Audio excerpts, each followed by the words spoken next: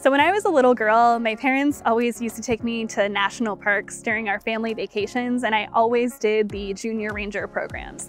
So I took the oath to explore, learn, and protect our environment, and I get to continue to do that today.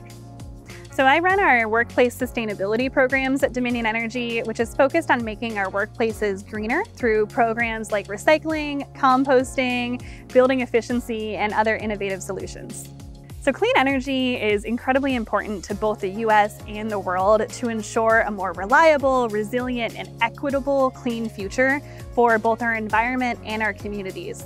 Clean energy ensures that everyone, regardless of where you're born or where you're living, can have the same equal access to clean air, clean water, and the opportunity to eat healthy food grown in healthy and supported soils.